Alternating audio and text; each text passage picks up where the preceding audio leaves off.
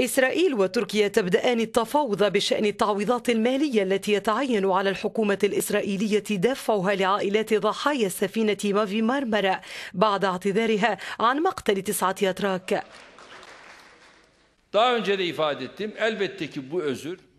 لقد أكدت عدة مرات أن هذا الاعتذار لن يعيد أرواح شهدائنا. هذا الاعتذار لن ينسينا الحصار الذي فرض على أشقائنا الفلسطينيين لسنوات عدة لكنه اعتذار مهم جدا لشهدائنا والدم الفلسطيني. صحف تركية أكدت أن وزير الخارجية التركي أحمد داود أوغلو تلقى اليوم اتصالا هاتفيا من وزيرة العدل الإسرائيلية تسيبيليفني اتصال تناول خلاله الطرفان مسألة التعويضات ومستقبل العلاقات بين البلدين.